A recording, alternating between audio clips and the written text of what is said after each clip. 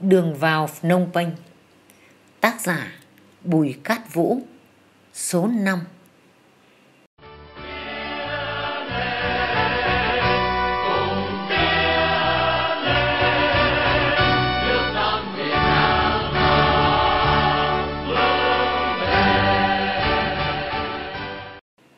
Chương 5 Mệnh lệnh sau cùng. Chúng tôi trở về sở chỉ huy tiền phương, đóng trong một ngôi chùa gần cầu Tông Lê Sút.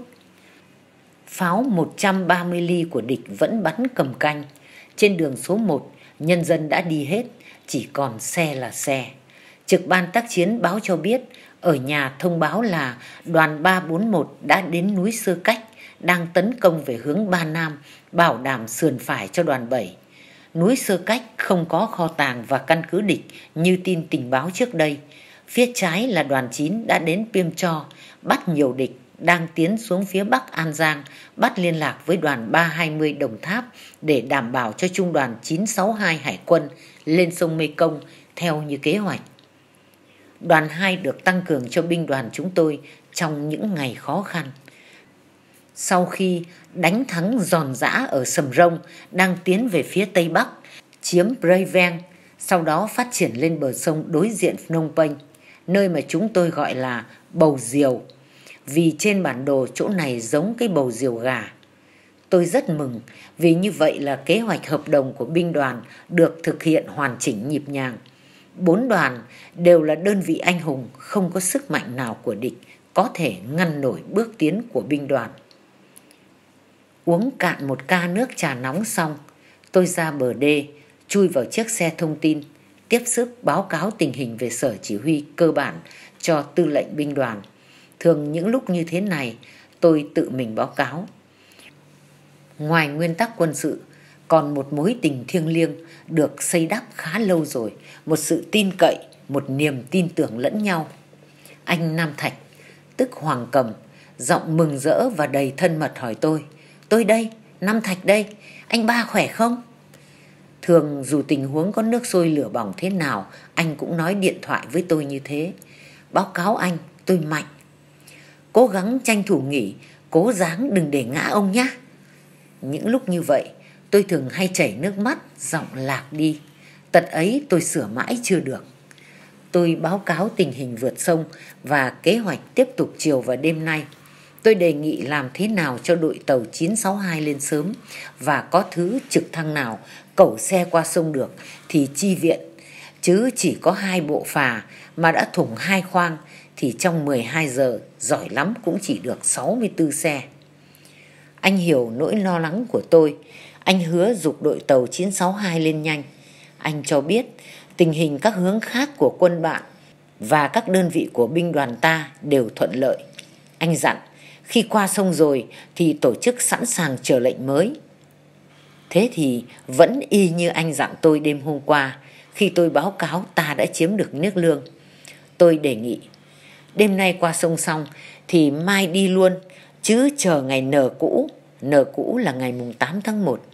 Thêm một ngày thì địch củng cố ngăn chặn hay phá hủy thành phố gây khó khăn cho ta và cho bạn lâu dài về sau. Anh ôn tồn giải thích cho tôi rằng đây là cuộc tấn công hiệp đồng nhiều hướng, Bộ Chỉ huy Tiền Phương nắm chung và quyết định chung. Nhưng ở nhà, anh sẽ đề nghị ý kiến ấy lên Bộ Chỉ huy Tiền Phương. Còn tôi, tất nhiên là phải chuẩn bị sẵn sàng cơ động. Anh dặn tôi thêm về cách cơ động, cách đánh. Anh nhấn mạnh, phải giáo dục anh em về kỷ luật chính sách. Anh nhắc, phải giành thắng lợi trọn vẹn cả về chính trị và quân sự. Phải nhớ những bài học cũ các chính ủy phải chịu trách nhiệm về vấn đề này. Anh vui mừng báo cho tôi biết anh Khang Sarin, Tổng tham mưu phó quân đội nhân dân cách mạng Campuchia, kiêm tư lệnh binh đoàn 1, bí hiệu là Mê Công, hiện đang ở sở chỉ huy cơ bản của binh đoàn ta, cùng chỉ huy hướng của chúng ta. Anh nhắc tôi quan tâm đầy đủ đến các đơn vị bạn, quân đội nhân dân cách mạng Campuchia. Anh cho biết ngoài ba tiểu đoàn 237 bạn đang đi với tôi, còn 4 tiểu đoàn nữa là 6, 9, 10, 11 sẽ đưa lên ngay sau khi đã truy quét tàn quân địch và ổn định tình hình xung quanh vai riêng. Ngoài bốn đội công tác đã có, sẽ tăng cường thêm 6 đội nữa. Anh nhắc tôi cố gắng tránh những chỗ ác liệt, tránh thương vong cho đơn vị bạn, tạo điều kiện cho anh em hoàn thành nhiệm vụ. Cuối cùng, anh vẫn hỏi lại. Cố gắng giữ gìn sức khỏe anh ba nhé. Gan ruột có thấy gì lạ không? Phải lấy thiết giáp mà đi. Chúc thắng lợi. Anh đến là tôi đến ngay đấy. Khỏe nhé. Thăm hết anh em đoàn bảy và các binh chủng. Giọng anh khàn khàn, phát ra rất rõ từ máy tăng âm, rõ từng tiếng thở. Tôi thấy sao giống ngày vào giải phóng Phước Long quá, giống lúc vào Lâm Đồng, Long Khánh và Sài Gòn quá. Tôi cũng đốc chiến tiền phương, anh cũng ở cơ bản. Anh phát hiện những tình huống then chốt, chỉ đạo cho chúng tôi thực hiện để giành thắng lợi. Trong lúc đi chuẩn bị chiến trường, cũng như trong quá trình diễn biến chiến đấu, anh tìm cách tránh cho tôi xông pha vào chỗ nguy hiểm. Ngược lại, anh dành những chỗ ấy cho anh. Như trong trận bù đăng, anh đã bỏ vào tận rào thép gai, bị phục kích, suýt nữa thì hy sinh. Tôi đang sống lại với biết bao nhiêu kỷ niệm chiến đấu và tình bạn, tình đồng chí, không phải chỉ với anh Năm Thạch mà còn với bao nhiêu bạn bè khác. Thì bỗng nghe hình như có tiếng phi cơ trực thăng. Tháng này, ngày ngắn, mới 4 giờ chiều mà không gian đã ngả màu xám. Ngoài đường xe cộ dục dịch ẩm ý. Khi ở trong sở chỉ huy, nghe tiếng gì như tiếng trực thăng thì nó đã ở trên đầu. Không kịp bảo ai, tôi chụp cái khăn mặt chạy ra ruộng quơ lia lịa. Chiếc UH-1 vừa đáp, người bước xuống té ra là anh Lâm Hà, phái viên tác chiến của Bộ Chỉ huy Tiền Phương. Chúng tôi ôm chặt nhau, trực thăng vẫn nổ máy, tôi kéo anh Lâm Hà ngồi xuống gốc cây bên bờ ruộng. Tôi báo cáo gọn tình hình trong mấy phút. Tôi bảo nỗi lo lắng lớn của tôi là vượt sông cho cơ giới. Tôi đề nghị ngày mai cho đi luôn. Sang sông được bao nhiêu xe chúng tôi đi bấy nhiêu, còn thì đi bộ. Hễ gặp địch phía trước, bộ đội nhảy xuống đánh thì quay xe lại, chuyển tải anh em đi bộ lên tiếp. Nếu qua sông dừng lại thì mất thời cơ. Anh Lâm Hà chỉ ừ ừ rồi đứng dậy. Tôi đứng lên theo, anh ghé tai tôi bảo. Hướng Đông Bắc, anh em đã chiếm Croce, Tương Trang đêm qua và đã vượt sông. Hướng binh đoàn 3 đã có bộ phận qua công pông tràm và đang tổ chức vượt sông. Còn hướng Tây Nam thì ta đã áp sát tà keo vòng qua Tà Ni. Hướng này xa hơn hướng của anh 20 km nhưng có hai trục đường số 2 và số 3 lại không phải qua sông. Do dự một chút xem có nên nói thêm gì không, rồi anh tiếp. Đội biệt động 367 đã đến Bầu Diều, đêm nay vượt sông qua mục tiêu. Ủy ban Trung ương Mặt trận bạn cũng cho biết là các cán bộ phái vào vùng sâu cũng đã báo cáo về là chuẩn bị nhân dân sẵn sàng nổi dậy ở các mục tiêu ta sẽ đến. Như vậy, anh nhanh chân thì anh có thể đến mục tiêu trước. Bộ cân nhắc kỹ lắm. Các đồng chí Heng Somrin, Pensovan, Chia Sim, Xoay Keo đều có mặt đủ hết. Các đồng chí ấy quyết định đấy. Anh vẫn chưa trả lời đề nghị của tôi. Tôi hỏi lại. Như vậy là ngày mai cho đi luôn chứ? Còn chờ gì nữa? Anh Lâm Hà vẫn tươi cười như thường lệ, đáp chậm rãi. Trên phái tôi đi để nắm tình hình, hãy chờ tôi về báo cáo lại đã. Vừa nói anh vừa về lại chiếc trực thăng, tôi đi theo nói to. Bây giờ tôi chỉ mong đoàn tàu 962 đề nghị cho trực thăng võ trang đi hộ tống và dục cho nó lên mau mau. Anh Lâm Hà gật đầu lia lịa, xong bắt tay tôi thật mạnh, rồi bước qua cửa trực thăng.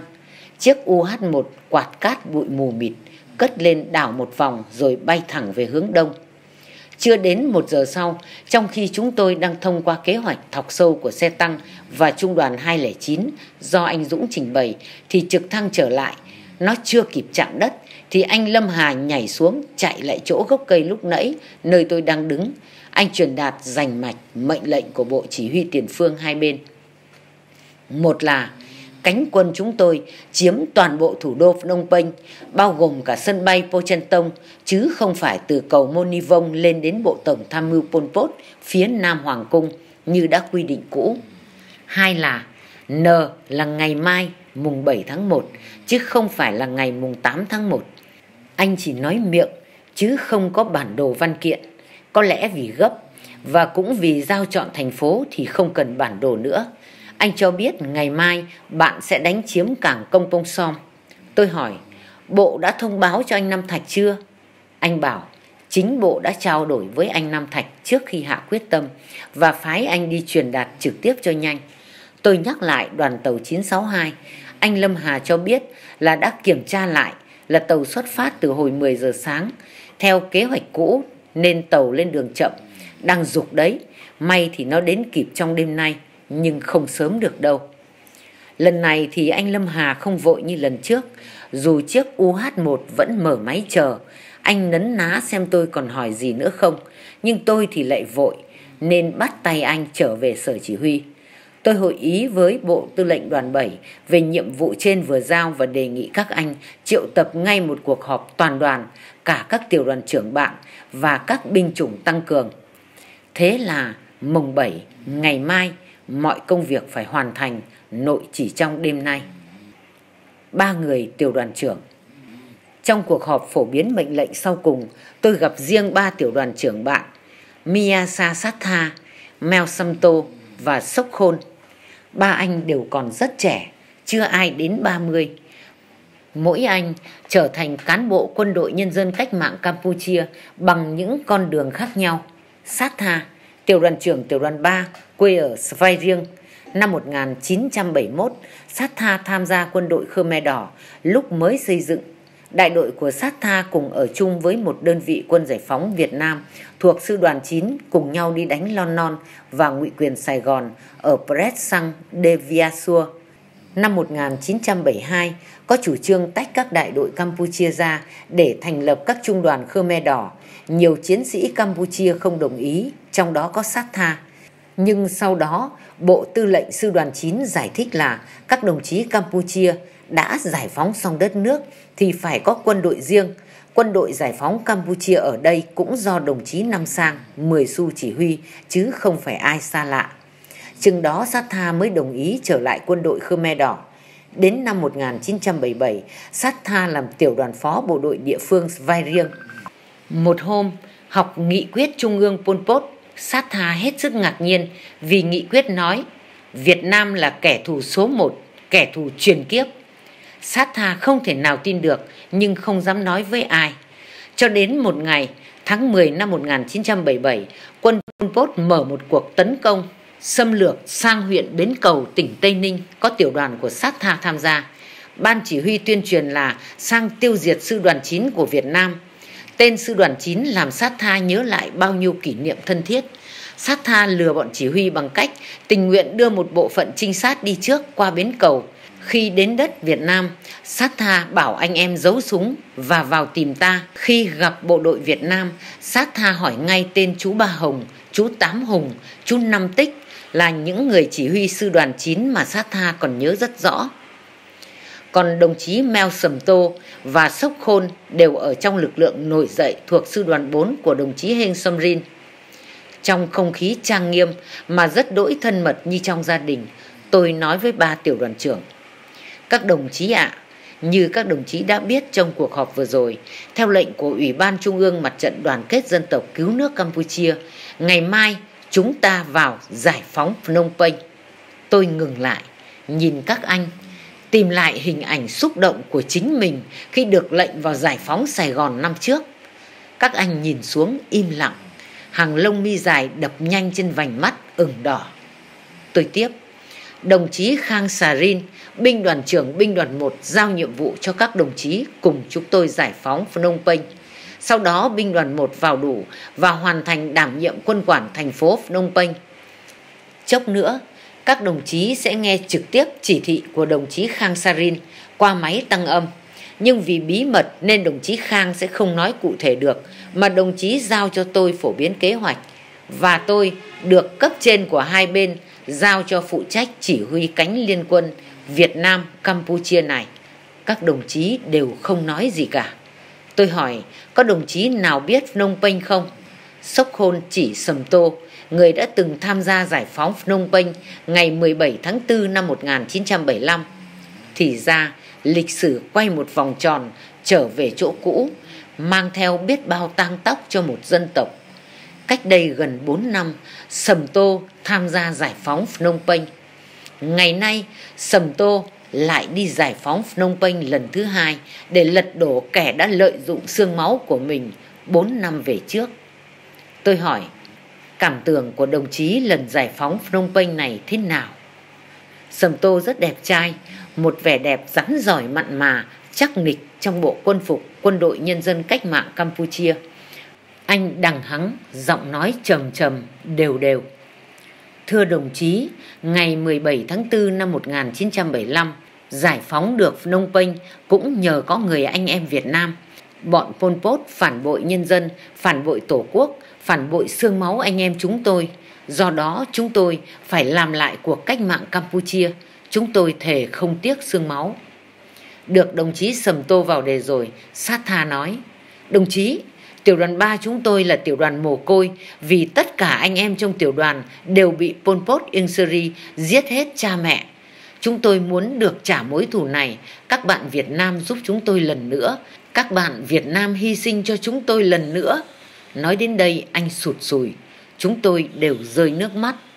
Biết các anh đều nghiện rất nặng, nhưng không ai đụng đến bao thuốc lá vàm cỏ và mấy ly nước trà bốc khói trước mặt. Tôi hỏi các anh có biết mặt Pol Pot Ieng Seri không? Các anh bảo là nó không bao giờ dám vác mặt xuống quân khu 203 nên các anh không biết. Tôi lục sắc cốt đưa cho các anh một sấp ảnh Pol Pot in Seri, Tả Mốc, Son Sen và một số nhân vật khác. Các anh xem ảnh từng tên, sốc hôn bảo. Chúng nó béo phị, còn nhân dân Campuchia chúng tôi thì ốm đói như người sắp chết. Sốc khôn bỗng ngẩng đầu lên hỏi tôi. Chúng ta chỉ giải phóng Phnom Penh thôi sao? Tôi chợt nhớ Sốc Khôn là người quê ở Bát Tâm Bang. Tôi nói, tới Phnom Penh chưa phải là xong, chúng ta còn đi xa nữa. Hơn nữa ở Siem Reap, Bát tam Bang và nói chung là trên toàn bộ đất nước các đồng chí đã có những cánh quân bạn và lực lượng nổi dậy của quần chúng chuẩn bị sẵn sàng. Tôi nhận thấy trong ánh đèn điện, đôi mắt của Sốc Khôn bỗng sáng rực lên một cách kỳ lạ. Trước lúc ra đi, sát tha móc túi áo đưa cho tôi một bản tài liệu của Pol Pot mà tiểu đoàn Anh đã tìm thấy trong sở chỉ huy của tên Ren ở vai riêng. Các đồng chí tiểu đoàn trưởng đã khuất trong đêm tối mà hình ảnh và giọng nói của các đồng chí còn vương mãi bên tai tôi. Chương 6 10 ngày, một bước ngoặt Đọc xong bản nghị quyết của Trung ương Pol Pot để tháng 6 năm 1977 do sát tha vừa trao cho, tôi nghĩ chủ quan dẫn đến sai lầm là cố tật của mọi kẻ xâm lược không có chính nghĩa. Xin trích dịch nguyên văn nghị quyết đó của Trung ương Anca. Duôn, An Nam. Sau chiến tranh còn gặp nhiều khó khăn trồng chất kinh tế kiệt quệ, chính trị thì nội bộ mâu thuẫn, ở miền Nam chính quyền chưa vững, tàn quân và tổ chức chính trị chống đối của Thiệu còn nhiều, đang hoạt động phá hoại. Về quân sự, Duôn, An Nam có quân đội mạnh, có kinh nghiệm chiến đấu, trang bị phương tiện nhiều, song sau khi thống nhất thì tinh thần quân đội sút kém. Tuy mạnh về quân sự nhưng yếu về chính trị, đang gặp nhiều khó khăn nên không đủ sức mạnh đánh lại ta. Về chiến lược thì bị kiềm chế, không dám tấn công sâu qua đất nước Campuchia. Ta phải lấy tư tưởng tấn công là chính và đưa chiến tranh sang Việt Nam. Phải tấn công trước, tấn công dồn dập để ruôn An Nam, không trở tay kịp. Tôi nhớ lại Xuất phát từ quan điểm đó, suốt mùa mưa 1978, chúng huy động đến 8 sư đoàn tấn công vào binh đoàn ta, đồng thời bu bám đánh tiêu hao liên tục, hòng làm cho ta mệt mỏi, bị động không củng cố được để mùa khô chúng ra tay. Khi nước bắt đầu rút, tháng 10 năm 1978, chúng đã đưa lên mặt trận biên giới miên Việt 19 trong số 24 sư đoàn bộ binh và hầu hết các sư đoàn binh chủng pháo binh, thiết giáp, hải quân, không quân. Tập trung 12 sư đoàn trên hướng chủ yếu đối diện Tây Ninh, sông Bé và một phần Long An mà chúng gọi là quân khu Đông. Bốn sư đoàn trên hướng thứ yếu đối diện với An Giang, Đồng Tháp, Kiên Giang mà chúng tôi gọi là quân khu Tây Nam. Hướng giáp với các tỉnh Tây Nguyên của ta, chúng gọi là quân khu Đông Bắc có ba sư đoàn. Còn lại toàn bộ đất nước Campuchia đến biên giới Thái Lan, ra biển, chúng chỉ để ba sư đoàn để chống bạo loạn nổi dậy của dân chúng ở các quân khu Bắc, Tây Bắc và Tây. Như vậy là chúng không có dự bị chiến lược, tổ chức chỉ huy mặt trận phía Đông do tên Khiêu Son Sen, Bộ trưởng Quốc phòng kiêm Tổng tham mưu trưởng phụ trách, mặt trận đường 1 Svay Riêng do tên Ren, Tổng tham mưu phó, mặt trận Tây Nam do tên Tả Mốc, Phó Bí thư Trung ương Anka chỉ huy. Cuối tháng 10 năm 1978, chúng cho các bộ phận ác ôn của các sư đoàn luồn sâu sang đất Việt Nam đến 3-40 km, giết dân, đánh phá kho tàng giao thông, cơ sở hậu cần của ta, hòng gây khó khăn cho ta, buộc ta bị động, đối phó phía sau để chúng ra tay trong mùa khô sắp đến. Cũng trong lúc ấy, Trung Quốc giáo giết tăng quân gây sức ép ở biên giới phía Bắc, bày đặt ra và làm dùm beng chuyện người Hoa. Tháng 11 năm 1978, chúng dùng pháo các loại, kể cả 130 ly D-74 hỏa tiễn H-12, bắn phá liên tục các thị xã Tây Ninh, Châu Đốc, các thị trấn Hồng Ngự, Tân Châu, Tịnh Biên, Mộc Hóa, Gò Dầu và nhiều nơi đông dân cư khác.